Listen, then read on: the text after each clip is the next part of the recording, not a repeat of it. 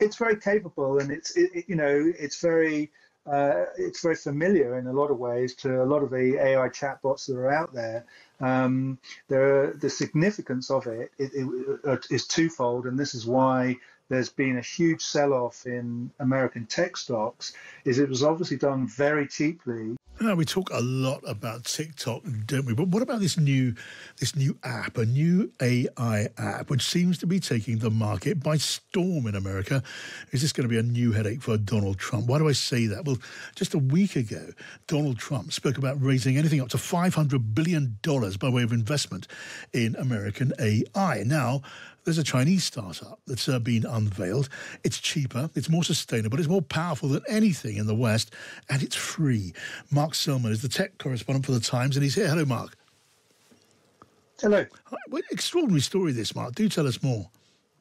Yeah, so this is a Chinese startup. Um, it's actually been around uh, for a little while, um, but it was spun out of a hedge fund.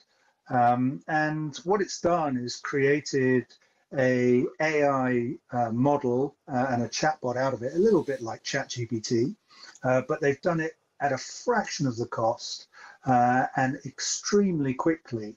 Uh, and it seems to rival OpenAI's most powerful reasoning model. This is called O1, and it's the one that you use if you want a deeper response, more mathematical, uh, and more reasoned responses.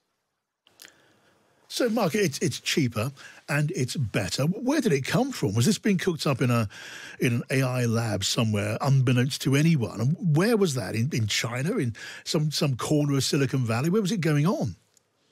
It's going on in China, and it, this is a, a startup that came out of a hedge fund, essentially as a as a research hub uh, but it has become extremely uh, effective company. It's not come out of nowhere. People in the AI industry have been keeping an eye out for it for about six months because right. they, they've they've been releasing their research. It's not a secret what they've been doing. In fact, it's completely the opposite. It's, the irony of this is that you know a lot of uh, American AI companies are very secretive about their work and don't release it. Yeah. Uh, this Chinese company has both released it in its entirety to the world, completely free of charge for anyone to develop and use it, uh, but has also created a, a paper um, and, on how it did it. So, so if the if the the American rivals, Mark, if they saw this coming, why were they, as it were, just blown aside as it emerges in the market?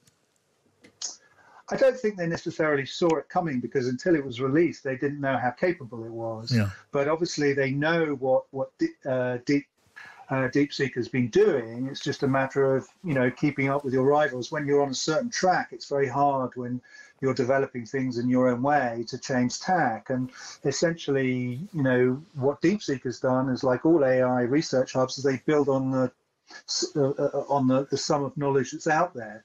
Uh, and I'm sure that others will now build on what DeepSeek has done to move the uh, to, to move the technology forward. Have you, have you uh, got a go, Mark, at, DeepSeek yourself? Is, does, is it just way ahead of the competition?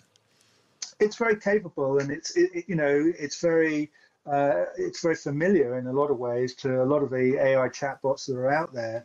Um, there, the significance of it, it, it is twofold, and this is why there's been a huge sell-off in American tech stocks is it was obviously done very cheaply, uh, but it was also done with hardware that appeared to be at a, at a, a complete fraction of the level being used by American AI companies. Mm. And at the moment, there are export controls from America to China of the highest end chips well, this company didn't even use those. It said it used a, uh, just 2,000 of an older uh, um, uh, technology chip uh, and seem to have produced a, the most capable model out there. So I think that has frightened those who have invested uh, in the American companies who have committed tens, if not hundreds of billions to, to build out this AI infrastructure for the development of AI in the future. Right. So the, those who put a lot of money into uh, the rival to this uh, to this app, they're going to be spooked. But what about the question of security? Because you know it's now a familiar concern, isn't it, that uh, an app like this coming out of China could do all sorts of things which are not helpful or desirable to us in the West, spying on us and so on. Yes, so as part of its privacy policy, uh, when you sign up to uh, DeepSeek, you also sign up to it collecting your keystrokes, which is how you type on the keyboard. That's actually a familiar um, privacy policy. Uh, TikTok does exactly the same, and this will fuel fears that you know that, that Chinese companies are collecting uh, data on uh, Western users uh, that could be harvested by the state if they which so wish. So that will continue uh, as a theme running in the background to this.